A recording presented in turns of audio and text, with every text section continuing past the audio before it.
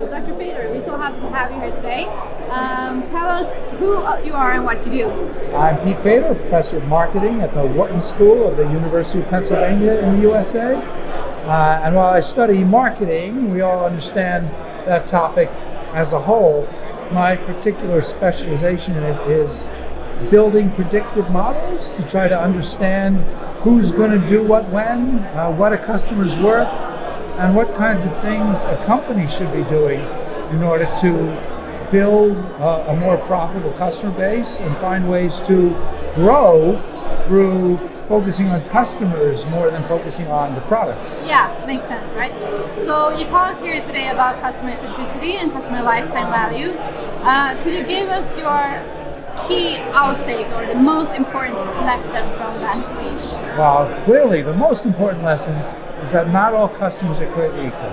You know, back in the old days when we just started marketing, we just would try to come up with, with ideas, products, messages that would be broadly appealing. Will it make sense to the average customer?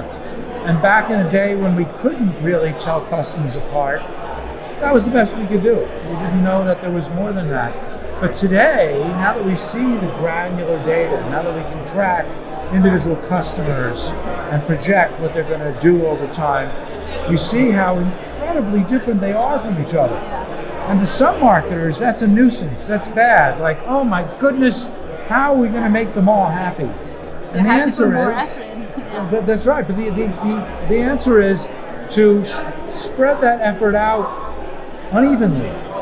That some customers are just inherently they're more valuable, they're a better fit with us, that they just they're just more aligned with the kinds of products we offer, services, just what this company's all about. So why are we spending all of our effort just on the kind of average customer when there's these really good ones here? So let's figure out who they are. Let's figure out what else we can do with them and for them to make them even more valuable. Let's figure out what makes them different so that we can acquire more customers like them. Yeah. So it's those ideas of recognizing and really fully leveraging the differences across the customers. That's what this customer centricity stuff's all about. It's hard to do, but if you can do it well, you can potentially make more money than if you just focus on the product all yeah? the time. Okay, good. So find your best customer and then focus on them. That's right, and find more like them.